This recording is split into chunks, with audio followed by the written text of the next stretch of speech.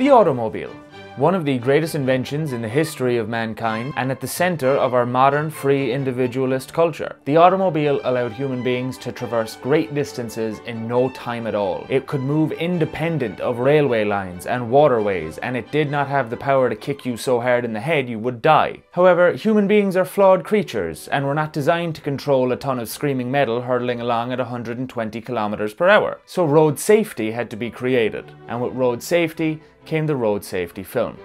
Back in the day, road safety films were quaint little pieces where mild mannered narrators warned drivers of behaviours they should watch out for lest they accidentally massacre everyone around them. Again, a driver should visualize the situation. Here are cars lined up near to the curb for left hand turn. In fog, dipped headlights, not just side lamps, should be used.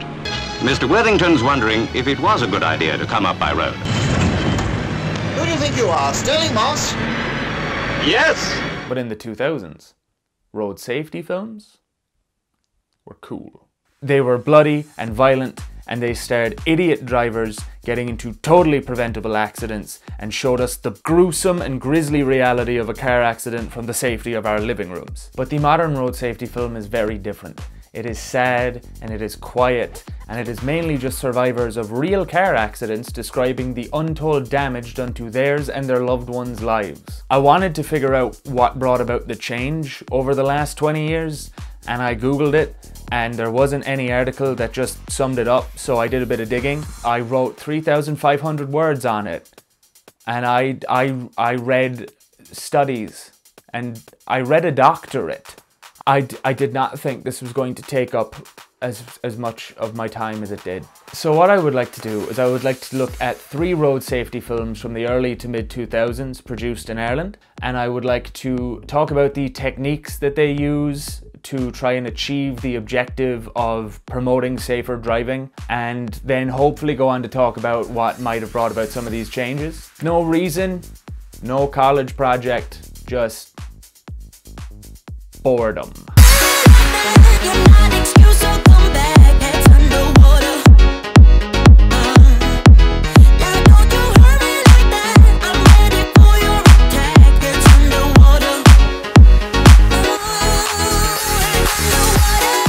Part 1 Body to Body so in the early 2000s, Ireland was actually suffering from a very high rate of road fatalities compared to other European countries. Some of the factors that were thought to be responsible for this was Ireland's relaxed drink driving culture, dangerous young drivers, and the lack of police enforcement of traffic laws. In response to this, the Road Safety Authority, or RSA, and the Department of the Environment, or DOE, produced and distributed a series of road safety campaigns which featured heavily publicised road safety adverts. All of these road safety ads follow the same basic formula. An inconsiderate driver and or passengers would get into a car. They would then drive recklessly, unaware of the danger they were putting themselves and others in.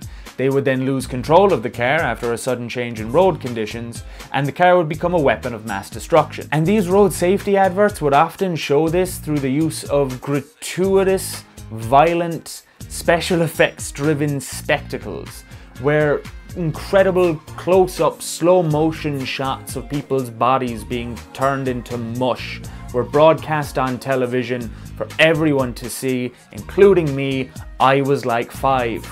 So in this film, which is online as Seatbelt Ad, but uh, I couldn't find the official campaign for it anywhere, young lovers meet up on a park bench for some completely over-the-top PDA when their friends arrive and ask them if they'd like to go for a spin. A voiceover then tells us, This is Michael. Today he's going to hit his girlfriend so hard she ends up with permanent brain damage. While a Samantha Mumba song plays in the background. So they get into the car and Michael neglects to put on his seatbelt. The car is then involved in a crash. Michael is then hurtled around the car and his body is turned into a projectile weapon. The film ends with Michael and two of his companions dead, with his girlfriend surviving, who now has to live her life with permanent brain damage. The film is super grisly, really gory. There's a lot of focus on impact shots as people are hurtled around the car. We hear necks snap and we hear heads smash through glass. and there's a sickening dull thud as Michael hits his girlfriend so hard she gets permanent brain damage. And as if all that wasn't bad enough, the film ends with the paramedics arriving, taking away these poor people's bodies, and then this guy turns to the camera and says, They say the guy without the seatbelt did the damage. In case you haven't gotten the point, that this is Michael's fault. I remember seeing this on TV a lot when I was young. I don't know if that is just because it would stick in my memory so much or if it was actually on TV as much as I think it was. In fact, a lot of people remember this film because it's so violent, but they remember it. Maybe it's because I'm watching this again as an adult, or maybe it's because I have watched it several times to make this video, but it kind of starts to seem a bit funny. The kissing teens on the park bench who hop in the car, it feels like something out of I Know What You Did Last Summer. In fact, I don't think this film would lose any quality if you added a final shot revealing Jason Voorhees was driving the second car that hits them.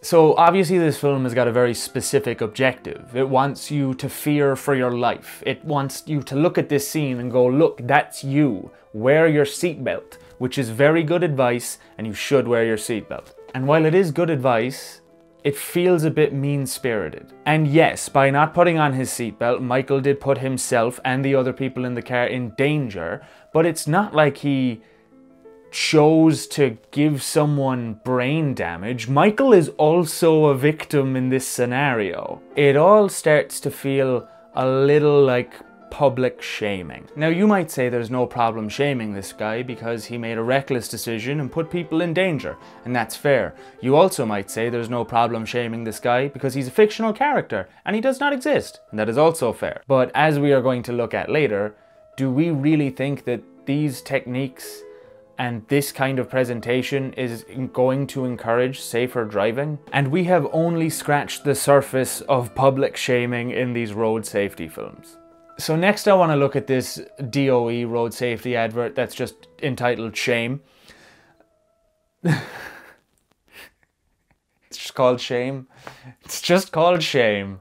A man's driving to his local soccer pitch and a kid is playing soccer in his back garden somewhere. The guy goes on to play a game of five-side, he wins, it's a great time. The kid is playing soccer in his back garden, everything's great. The guy then goes down to the pub for a couple of pints with the boys. The guy is driving home, he's singing along to the radio, what could go wrong? He hits a curb, his car spirals and he completely destroys the kid. At which point then he climbs out of the car all battered and bloodied when the father runs out of the house and holds his dead son in his arms weeping. At this point the narrator then tells us to Never ever drink and drive. before asking, Could you live with the shame? From DOE supported by AXA Insurance. So this one doesn't have the exact same kind of energy as Michael. It doesn't have like a Samantha Mumba pop song soundtrack, but there is still a theatrical, performative kind of melancholy to the soundtrack. Again, this film is simply saying, look, that's you. You thought you were cool playing soccer and drinking and driving, and you've killed a child. Don't do that. And again, fantastic advice. Don't drink and drive. Don't kill children. So this is another one of these road safety ads that I remember super vividly from when I was younger. Again, in my mind it was on TV like every 40 seconds. And again, looking back as an adult, it is starting to seem a bit excessive. One of the main things about this is, is the use of soccer to link the driver and the child. It's like the film is going, look, this kid would have gone on to play his own soccer matches with his own friends and possibly have a drink after and kill his own kid. It's like they're saying this kid was going to go on to play his own soccer matches and have his own life. And isn't it terrible that it was cut short by this driver? And I'm kind of looking at it saying, it was already terrible. It was tragic enough. You don't have to oversell the vehicular manslaughter of a child. That is a very sad thing. And then there's the bit where the father comes out and he's holding his son and he's just crying and the driver has to look on. The looking at them is, is really driving it over the top and that like it's like an extra dose of shame on top of the normal shame a person should feel after killing a child. In fact, that final question, could you live with the shame, reveals the intention of all of these road safety ads. They are about frightening and shaming you into driving safely. They are about scaring you and shocking you and making you afraid of all of the horrible things that can happen if you don't shape up your act on the road. The final road safety film I want to talk about is Mess. It's an anti-speeding ad and I think it is the culmination of everything we've been talking about so far with regards to gross out violence and shame. So again, we're using a soundtrack, but like a performatively sad soundtrack. So we're with two young lovers again. This girl is sitting on this wall and her boyfriend is in front of her. This driver is just flying down the road. This dog jumps into the road. He swerves to avoid it and sends the car flying. The car then collides with the wall, crushing the boyfriend up against the girlfriend. There's then this shot which has stuck with me for years of this bit of bile like shooting out of his mouth as she is now just stuck with him pinned to her. There's a shot of the driver hurtling through the air in close up as it happens, like screaming. Then we see the other bits of the shot. People are looking on helpless. This woman is in the car screaming for her life. This mother picks up her kid and gets her away from all this carnage. And the girl is just stuck with her boyfriend lifelessly pinned to her.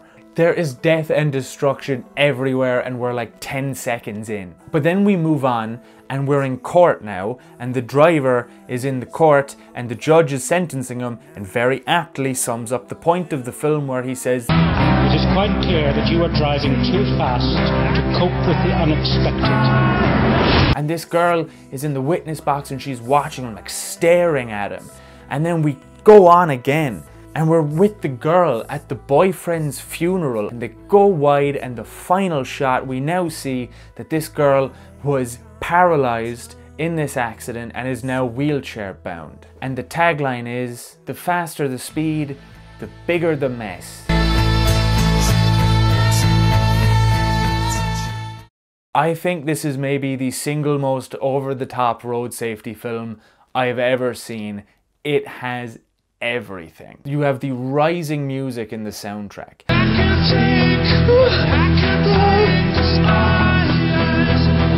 The screams of horror, the screeching metal all in the sound.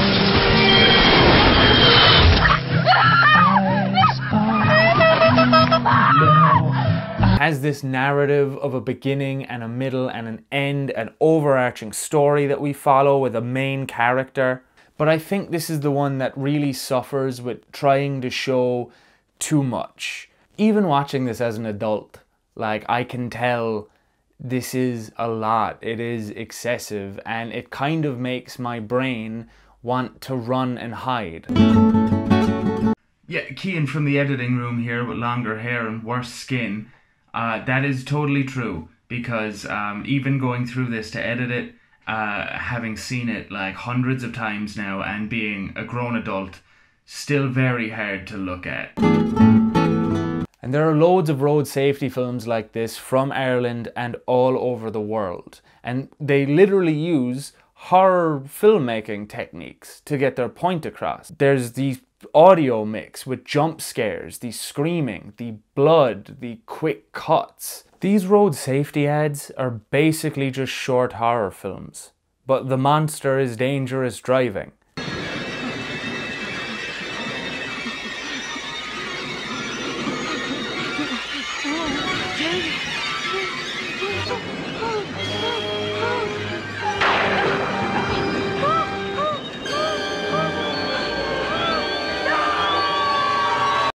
Oh my god, there's a bang at the door! Their focus on special effects and stunts are meant to try and replicate the grisly reality of a car accident in a way that we've never seen it before. Everything from the gross stomach bile to the close-up of someone hurtling through the air to the impact shots. It's meant to frighten you, and it does, but it's not real. It's all hid behind the artifice of the medium they're made in. It reminds me when I was 16 and our school bussed a load of us out to this like road safety conference in a hotel along with like a bunch of other people from a bunch of other schools. This guy came up and he was talking about how he was so excited to have just got his license. Uh, you know, he just turned 17, he just got his license, even though he was clearly 28. And then he was like, I'm gonna go meet my girlfriend. And he went off stage. And then the projector came on, and they were showing us a film of like this guy who we had just seen getting into a car crash uh, set to Coldplay's Fix You. And we were meant to be like, oh, that sucks for him, that's terrible. And the next day, everyone had downloaded Fix You and put it on their phones. Nobody was thinking about the intricacies of road safety. So these films were designed to use violence and spectacle to educate people.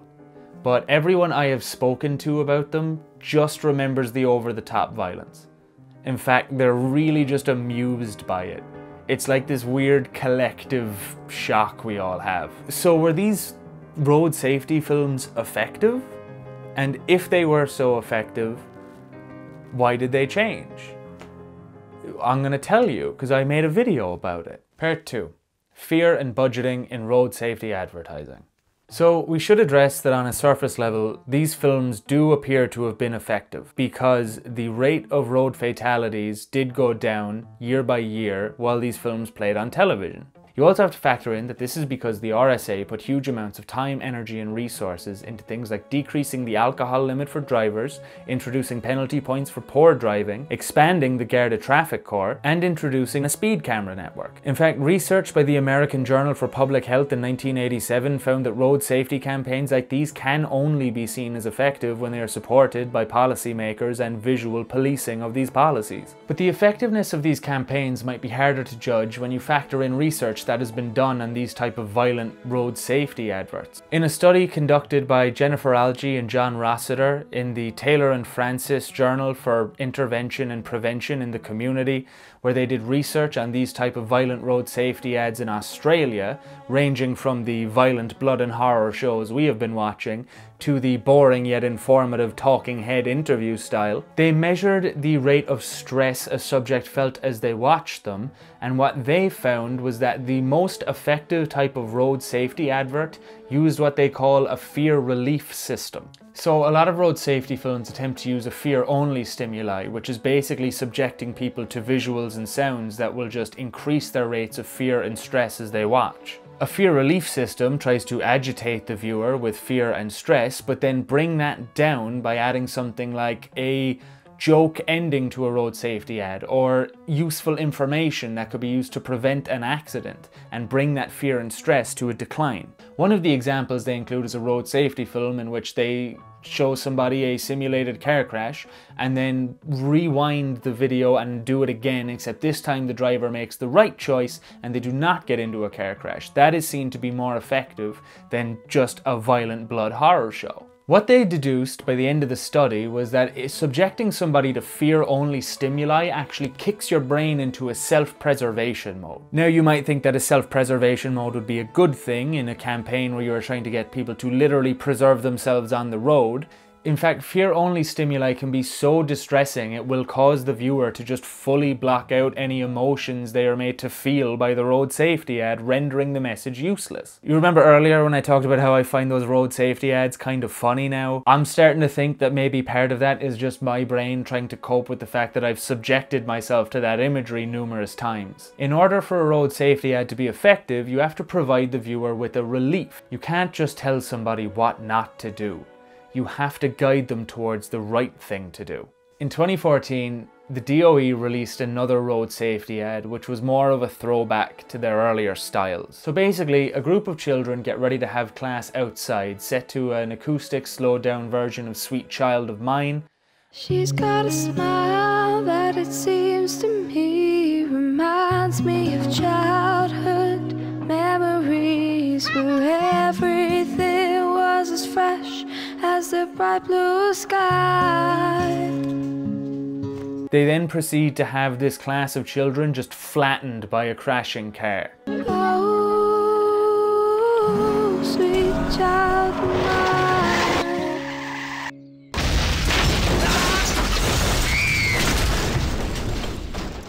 And then they basically inform us that in the last couple of years, a classroom worth of children have been killed on Northern Ireland's roads. Since 2000, speeding has killed a classroom of our children. Shame on you. It's just called Shame.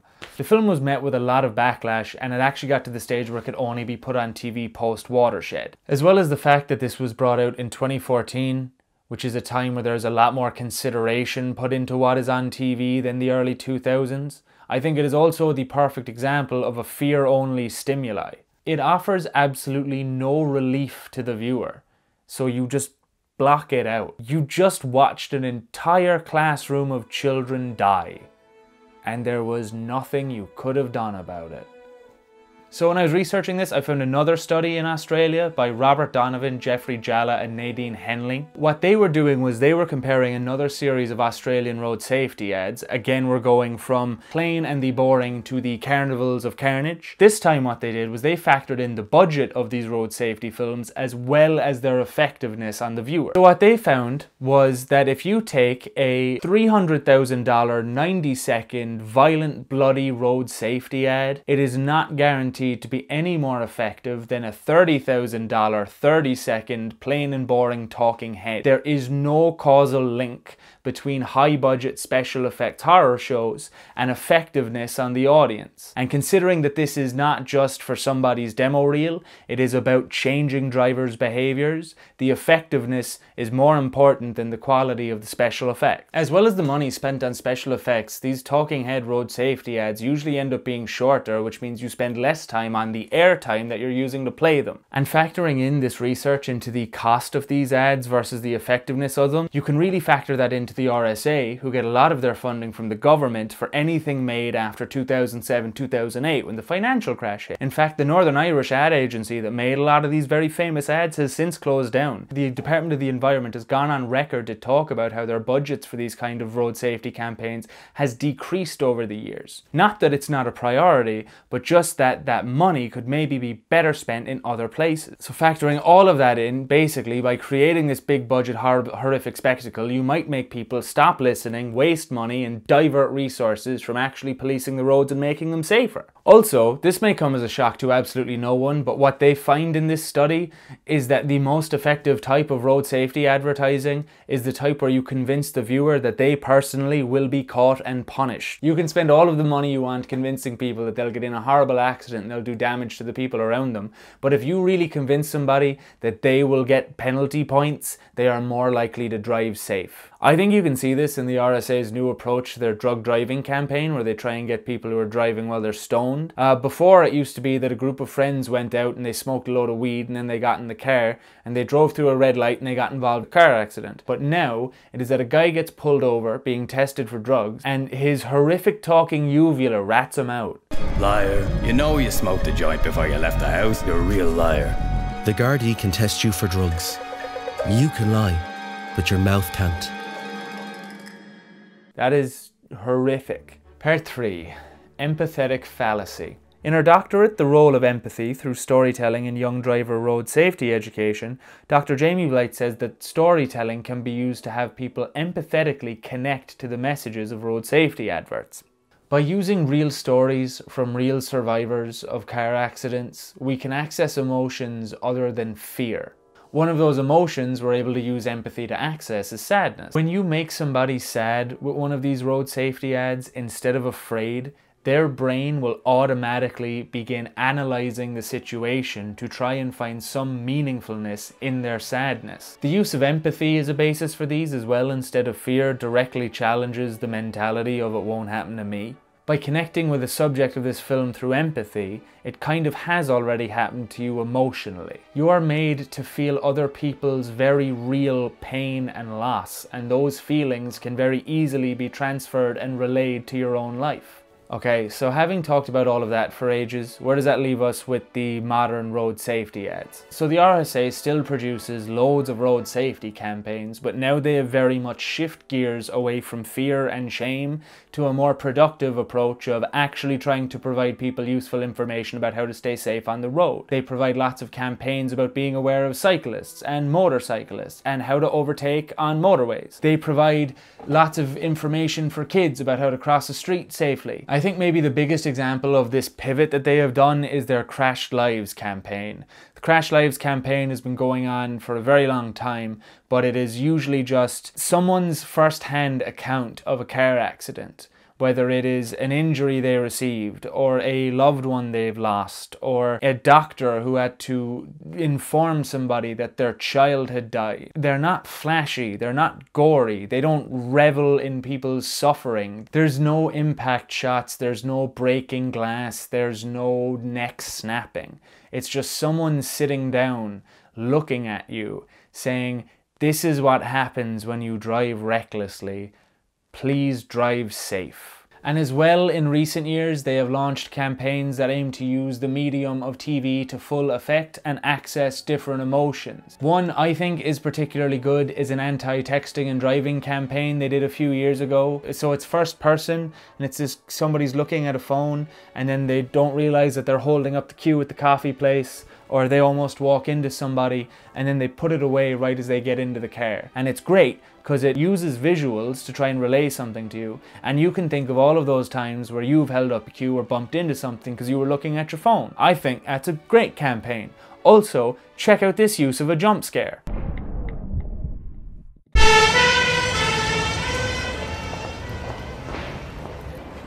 They also recently launched a campaign, which is What Do You Think Would Happen? It, it tries to use comedy to say, what if you just made sure everyone in the car was safe? Comedy, fun visual effects, I love it. Overall, I think the RSA have adapted very well to this new style of road safety campaigns over the years. They have adapted to smaller budgets and different emotions and have found ways to use what resources they have to really try and make Irish roads safer. I think it's easy to look back and say that maybe they were more memorable when they were horrific but maybe they weren't memorable for the right reasons. The fact that I know how to overtake people on a motorway with like pinpoint accuracy, I think that is probably more effective than understanding what it would look like if my head uh, smashed so hard into my girlfriend's that I gave her permanent brain damage. So that's what happened to road safety videos. Um, budgets got smaller and research was done and it turns out the best way to prevent people dying on the roads is give people penalty points and suspend licenses if they repeatedly drive poorly and um, don't traumatize children. Thanks to politicians like Jackie Healy-Rae and Michael Healy-Rae, Ireland right now is the only country in the world that's actively working to try and reintroduce drink driving. This is... the Mexicans wouldn't even have the balls for that. Like, this is... We're trying to reintroduce drink driving, but here's the twist it's just for country people. That's the. Because country people live further away from the pub down crooked, unlit mountain roads and should be allowed to drive them roads drunk. That's the kind of shit that keeps the community together. Now, a pragmatic city politician might say, well, what if he hits a pedestrian? And the answer to that is, if a man is walking the roads at four o'clock in the morning, he's probably drunk too. So, when a drunk driver hits a drunk pedestrian, sure, whose fault is that?